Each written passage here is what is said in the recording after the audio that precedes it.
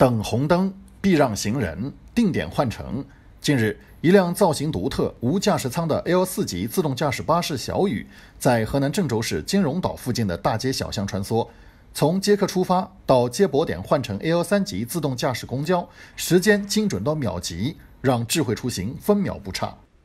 记者搭乘体验 L 四级自动驾驶巴士，它无驾驶舱，有八个舒适的皮质座位，车身遍布多种传感器，无需人工操作，可实现自动驾驶。据了解，汽车行业将汽车驾驶自动化等级划分为零级至五级，从零级的应急辅助到五级的完全自动驾驶。小雨除了具备常规的 L 四级自动驾驶巴士的超级巡航、动态避让、路口通行、自动泊车功能外，通过三百六十度的全天候的感知技术、智能决策技术、智能诊断技术、远程驾驶技术。打造了业内首款支持无安全员运营的自动驾驶巴士。到站后，换乘 L 三级别的自动驾驶公交，可沿金融岛实现环线运行。通智能驾驶公交，具备 L 三级的自动驾驶能力，超级巡航、精准停靠、路口通行、车路协同等功能。我们不仅有聪明的车，还有智慧的路。通过车路协同，可以使城市出行更加高效、更加安全。与 L 四级自动驾驶巴士相比，L 三级自动驾驶公交车为何要安全员？李高鹏表示，L 三级自动驾驶公交是根据城市干线公交的应用场景打造而来，目的是为了减轻公交司机的驾驶劳动强度，提高了运营的安全性与舒适性。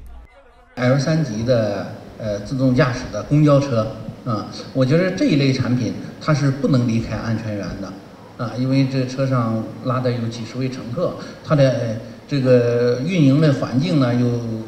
更复杂，运营里程是非常长的，啊，这样的这个产品，我们定位就是通过自动驾驶技术来提高车辆的安全性。到达无人场站，自动驾驶公交的安全员离车，该车可自动泊车充电，充电结束后，根据云控平台实现再次发车。我们的 U 十二的一个纯电动客车，它呃车上装的有我们的激光雷达等一些智能设备。车辆的话装了三百五十度电，开空调状态下能行驶三百公里。目前的话，我们在我们充电工的呃充电呃是一个小时充满车辆，然后在在这个车位上进行泊车、充电，还包括一键发车。据李高鹏介绍，他们的五 G 智慧出行方案围绕聪明的车、智慧的路、智能站台、无人场站、云控平台、自动充电六个方面，实施建设城市智慧出行交通系统。通过智能驾驶中运量公交线路和自动驾驶微循环巴士线路，微循环线路与金融岛内线路相通接驳，构成智慧公交网络。这也是全国首条实现商业化常态运行的智能驾驶公交线路。截至目前，运营里程超过七万公里，平均运营速度提高了一倍，车辆准点率百分之百，全程运营时间从七十分钟下降到四十分钟。